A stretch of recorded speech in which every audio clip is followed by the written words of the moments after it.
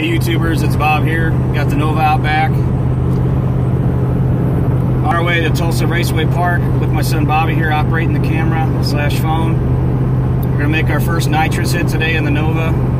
Got the 100 horsepower pills and a Nitrous Express Hitman kit using a Maximizer EZ progressive controller.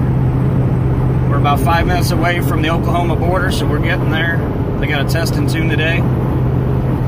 I'm going to set that Maximizer EZ to two and a half seconds. We're going to see if the track will hold us. If it'll hold two and a half at 100, we're going to go down to one and a half at 100. We'll check out the time slips, see where we are. If we need it, we're going to go for the 150 or uh, hell, 200 if we have to.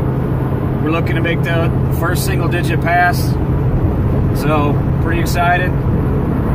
Tune in later, see what happens.